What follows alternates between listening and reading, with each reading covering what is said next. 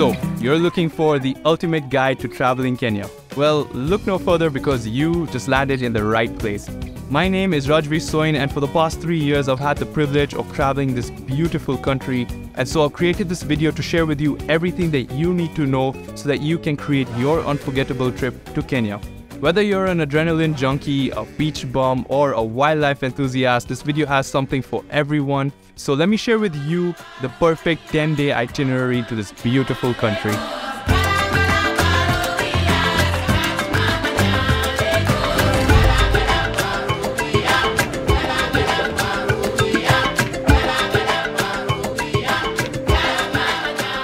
On day one, you'll be touching down at the Jomo Kenyatta International Airport in Nairobi. Now, you've probably had a super long flight to get here, so it's time to head to your accommodation to freshen up, drop off your bags, and take it easy on your first day. We've got a jam-packed itinerary coming up, so you need to stay well rested. Now, there's tons of options for places to stay at in Nairobi. A couple of great options include Summerdale Inn, Eka Hotel, Kempinski, or if you're into super luxury, the world famous Giraffe Manor, where giraffes literally roam your backyard. Now, I'm also working on a beautiful place of my own called Shraddha House. It may not have giraffes roaming free in its backyard, but it's super peaceful and in the center of all tourist attractions, and it's probably going to be ready by the time you book your trip to Kenya. So check it out, I'll link it in the description box below. Getting around Nairobi is actually very easy. There's Ubers available everywhere and they're very reasonable from 3 to $10 per trip. If you're looking for something more private, you can hire a car for about 30 to $80 for the day. Now back to the itinerary. Now that you're a little freshened up, in the evening you can get your taste of Kenyan culture by heading over to a Masai market. The Masai market is a weekly open air market that takes place in different locations in Nairobi, including the city center and various shopping malls. The market features a wide array of traditional African crafts including clothing, jewelry, wood carvings, paintings and sculptures. The Masai market is held in a different place every day of the week so make sure to download the free PDF guide below that will share all that info with you, plus a lot more information on the best spots, hotels, restaurants that you can check out. For dinner tonight, head over to the Carnivore restaurant. This restaurant offers an interesting dining experience. The restaurant is famous for its unique concept of serving exotic meats including crocodile, camel and ostrich. I'm pretty sure you didn't expect that. The meats are roasted on traditional Maasai swords over a huge charcoal pit. It's quite a view. Make sure you make a reservation beforehand and look into their feast for the beast option, which is their all you can eat option. On day 2, get ready to kick off your Kenyan adventure with a visit to the David Sheldrick Wildlife Trust a sanctuary for orphaned elephants. Here you'll watch baby elephants being fed, they're so cute, and you can also touch them. They're not very soft though. You'll also be learning about their conservation efforts. They open at 11 am strictly for an hour, so make sure to get there in time. Next up, you're gonna head to the Giraffe Center where you'll have the opportunity to feed giraffes and if you're feeling extra romantic, you can kiss them. You should be done by lunchtime, so go for lunch. There's loads of great restaurant options at the Galleria Mall or the Hub in Karen. The great thing about Nairobi is that it's a very cosmopolitan city, so you can find everything from Japanese to Italian food. Again, you can download my free guide below that will share more details on my favorite restaurants plus a lot more. If you missed out on the Masai market the day before, don't worry, you can plan a visit this evening. For dinner tonight, you're gonna keep it light and get to bed early because on day 3, we're waking up before the sun to start our road trip to the great Masai Mara National Reserve. Unless of course you're flying to the Mara, then you can probably sleep in a little. The Masai Mara is one of Africa's most famous wildlife reserves and you're in for a treat for the next two days. Assuming you're going by road, it's a 5 hour drive from Nairobi to the Mara and you'll need to hire a 4-wheel drive with a tour guide. It'll cost up to $300 per day, but the car can carry up to 6 people. You can check out the links below where you can book your Masai Mara tour. On the way, you'll make a stop at a beautiful viewpoint at the Great Rift Valley, where you can take in the breathtaking sights before continuing on to the Mara. The reserve fee is $70 per day, which you'll pay at the gate upon entry. There's a lot of options for accommodations, the camps outside the reserve being cheaper, but I recommend the Mara Serena, Sarova Mara Game Camp or Ashnil. If you're all about the luxury life, then you can check out Salah Camp, Sand River or Cottar's Camp. Check into your accommodation, have lunch and get ready for your first African safari. As you embark on a game drive through the Masai Mara, you'll feel as if you've been transported to another world. A world where giraffes gracefully move through the grasslands, zebras roam in large herds, and wildebeest thunder across the landscape. The sheer abundance of wildlife in the Mara is truly breathtaking. You'll have the opportunity to spot Africa's Big Five. Oh, and also you'll be experiencing a lot of the African massage. If you don't know what I'm talking about, you'll find out during the game drive. If that's not enough to get you excited, then honestly, I don't know what will. The best time to visit the Mara is during the Great Wildebeest Migration, which is a wonder of the world.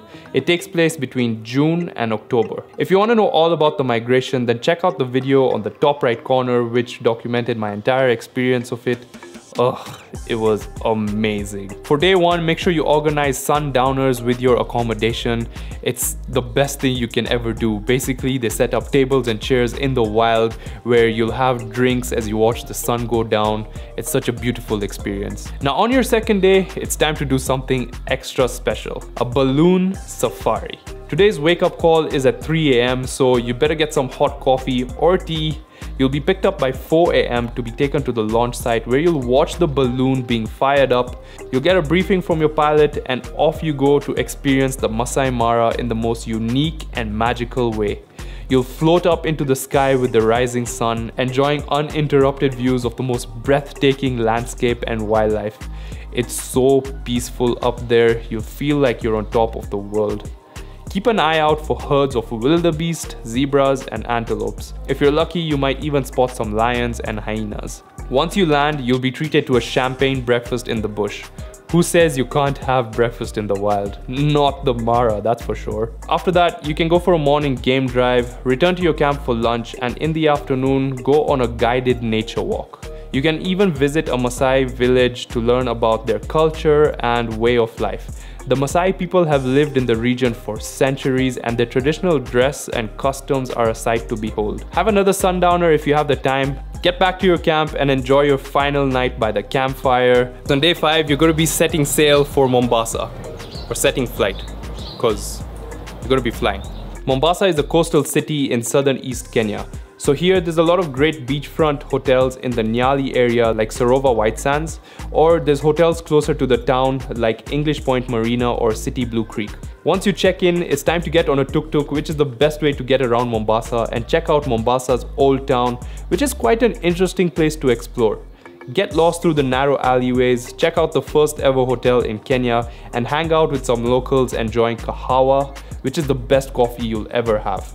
You can also visit the Fort Jesus Museum, which is a Portuguese fortress from the 16th century. But the best part and the reason why I've added Mombasa to the itinerary is the food. Mombasa has some of the best street food you'll ever taste thanks to the Swahili, Indian and Arabic influence.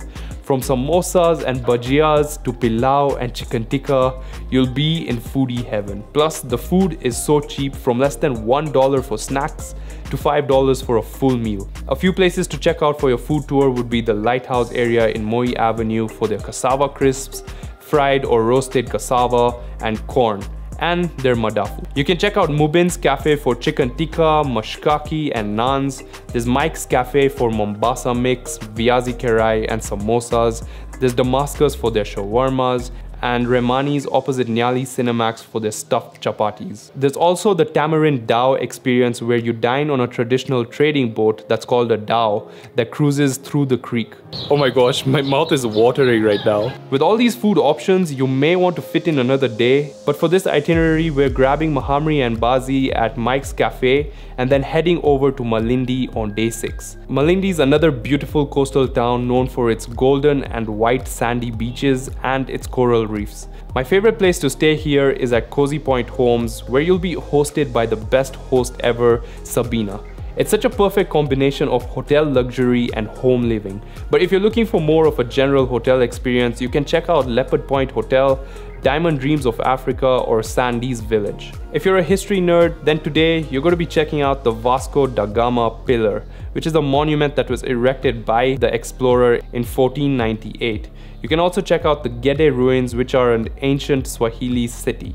Whenever I'm in Malindi, my friend Hassan takes me around and if you're up to checking out some hidden gems, he's your go-to. He'll even teach you how to drive his tuk-tuk, which is so much fun. I'll leave his number in the description box below. Now if you're not into history, today you can relax on the beach or if you're feeling adventurous, you can head over to Watamu for some kite surfing. I tried kite surfing with this company called Tribe Water Sports and it was such an awesome experience. And since you're in Watamu, you can have lunch at Swahili Cafe to try out some of their really authentic Swahili dishes. End your day with a sundowner at Lichthaus, which is a restaurant in a creek with a view of the sunset that will take your breath away. On day 7, I recommend you wake up early and make your way to the Malindi Pier to catch an unforgettable sunrise. At the pier, you'll see kids jumping from the bridge into the water and if you're brave enough, you should try to. At the pier is where you'll notice that the sand is golden and it glitters because of a mineral called pyrite. Spend the rest of the morning relaxing on the beach or by the pool before heading out to visit Hell's Kitchen in the evening. Again, Hassan can take you, his number is in the description box below. This is Kenya's version of the Grand Canyon and it's really cool. You wanna visit this place in the evening because one, as the name suggests, it will cook you in the morning and two, the sunset here is amazing. You don't wanna miss it. Here you can enjoy a fun hike into the canyon and learn a lot of cool stuff about it. We're on day 8 and now my favorite part of the trip. We're going to be taking a one hour flight from Malindi International Airport to the Lamu Archipelago, which is a true gem of the East African coastline. Lamu has this kind of Santorini, Venice meets Swahili, Africa vibe. It's so beautiful. Here you can stay in one of three areas. Lamu Town, which offers the cheapest accommodations, which you can find a lot of them on Airbnb. The next area is Shella Town, which is a little more touristy, fancier and pricier. Most of the accommodations here have pools though. My favorite place to stay at here is called Forodhani House. It's so perfectly located and it kind of feels like you're living in a hotel in Santorini. Something I should also point out is that 90% of the accommodations are actually traditional Swahili houses that have the coolest architecture and interior. So that's a whole experience in of itself. As for food, each house offers the option of hiring a chef, but I usually eat out. The third area you can stay at is Manda Island which has all the luxury hotels and access to the beachfront. I stayed at the Majlis Hotel and I felt like I was a freaking king. There's no cars in Lamu so you'll be moving around with boats or by foot or if you want you can ride a donkey. That's fun too if your legs are not super long.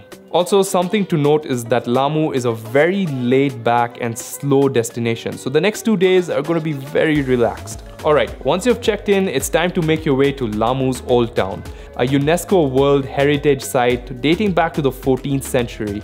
It's a labyrinth of alleys, bustling markets, and traditional dhow boats bobbing in the harbor.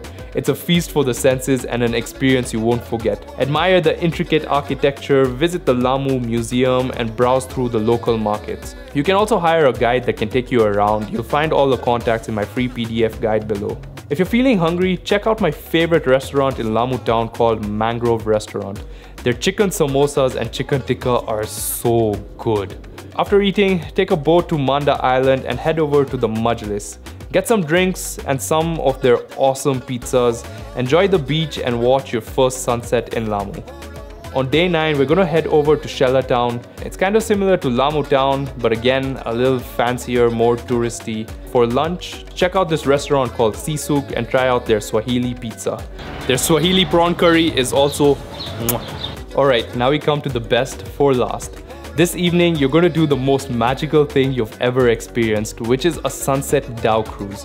A dhow is a traditional Arabic boat, simple design with this huge sail so at about 4.30, you'll be picked up by your captain to set sail the waters of the Indian Ocean that will carry you gently into a world of wonder and enchantment. The warm sun beats down on you as you take in the breathtaking views of islets full of mangroves. As the dhow glides through the water, you feel a sense of timelessness and serenity, as if the worries of the world have been left far behind. I think you can tell how much I love the experience from the way I'm describing it. Along the way, you'll be treated with some snacks like fish samosas or viazi karai. And the best part is when the sun starts to set. I mean, the way it paints the sky with the most beautiful colors while you're gliding on these calm waters, it's the most beautiful thing. It will just take your breath away. So for your cruise, you have to hire the entire dhow, which can accommodate up to eight people and it costs up to $150. You can also look for dhows that have been booked by other people, which you can share and it can cost up to $30. On day 10, it's time to head back to Nairobi and reminisce the last nine amazing days you had because you watched this video. You're welcome. Just a by the way, if you have an extra day or two in Kenya, I highly recommend you check out Amboseli. It's about a four hour drive away from Nairobi and is known for its large herds of elephants as well as stunning views of Mount Kilimanjaro, which is the highest peak in Africa. If you thought the herds in the Mara were amazing, woo, you're in for a treat. Plus, I think the view of these elegant giants with the backdrop of Kilimanjaro is just something that you have to witness when you're in Kenya. So good luck planning your trip to Kenya. Guys, if you found this video useful, please hit that like button. It really helps. And if you're new here, consider subscribing and I will see you guys in the next one. Peace.